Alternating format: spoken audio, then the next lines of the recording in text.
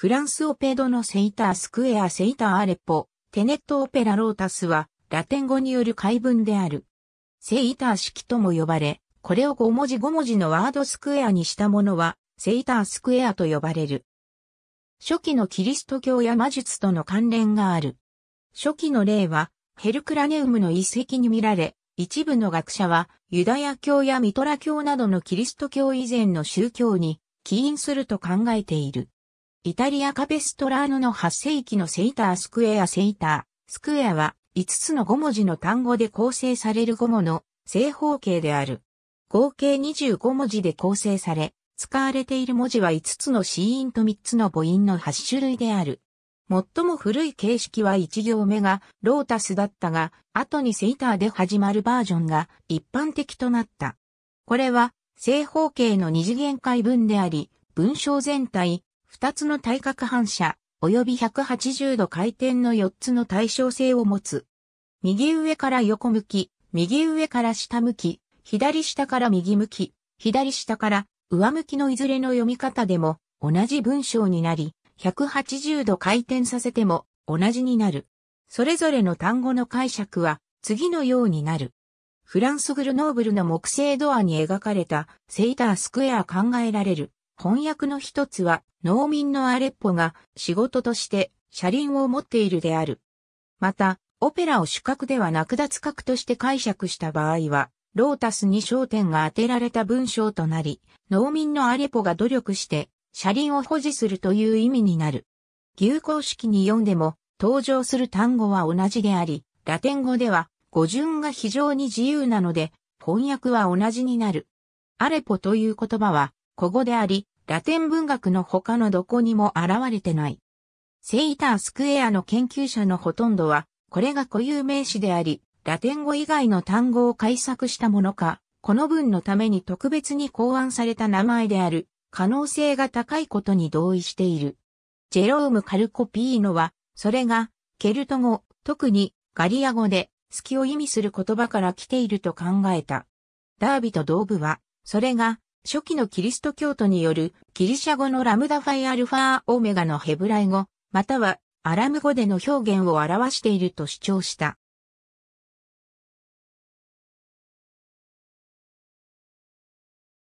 ジェイグウィン・グリフィスは、それがアレクサンドリアを経由して署名されたエジプト人の名前 RP から来たもので、アピスの顔を意味すると解釈した。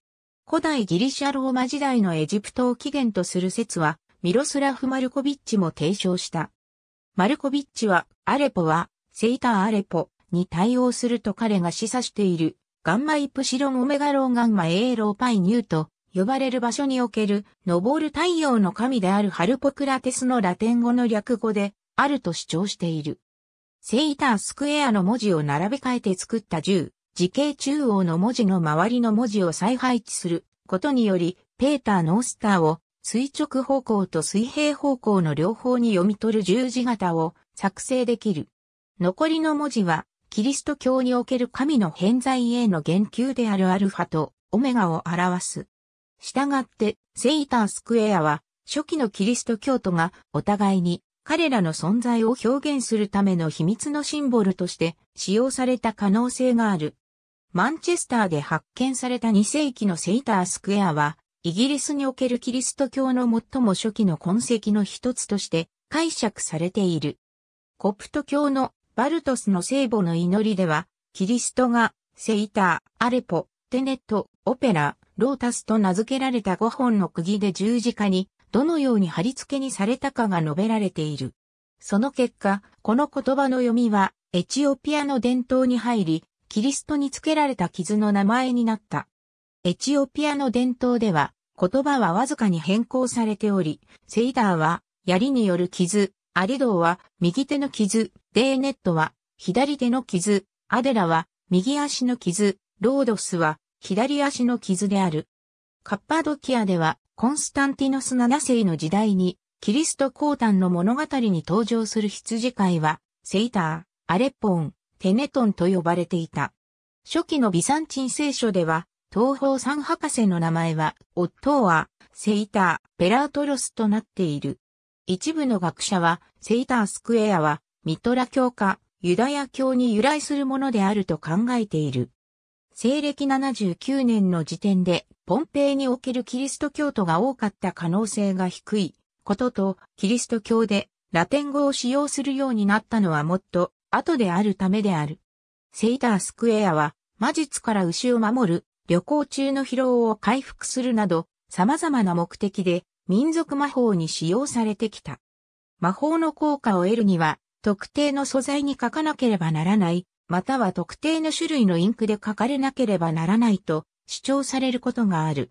セイタースクエアは、ペンシルベニアダッチのコミュニティで病気の治癒のために、また、ロシア正教会の古儀式派のコミュニティで使用されていた。サイレンセスターのセイタースクエア最も古いセイタースクエアは西暦79年にベスビオ火山の噴火によって滅亡したヘルクラネウムの遺跡で発見されたものである。他に、ローマのサンタマリアマッチョーレ大聖堂の地下、コリニウムドブンノルム、ドゥラエウロポスの発掘でも発見された。イタリア・アブルッツォ州のカペストラーの近くにある聖ペテロアド・オラトリアムのベネディクト修道院には、セイタースクエアの大理石の正方形の碑文がある。同じく中央イタリアのバルビシオロ修道院で発見された例では、文字が5つの同心円状の輪を形成しており、それぞれが5つのセクターに分割されている。シエナ大聖堂の外壁と記念碑にもセイタースクエアがある。イタリア国外では、リビングトン教会の敷地内にある石群で見つかった例は、セイターアレポテネットオペラロータスである。フランスルベロンにあるオペドの旧市街の壁にセイター、スクエアが刻まれている。セイタースクエアは、アントン・ベーベルニやファビオ・メンゴッツなど、クラシック音楽や現代音楽の作曲家に影響を与えた。クリストファー・ノーランの2020年の映画、テネット・テネットは、そのタイトルや主要な登場人物、作中の要素の名前がセイタースクエアから取られている。ありがとうございます。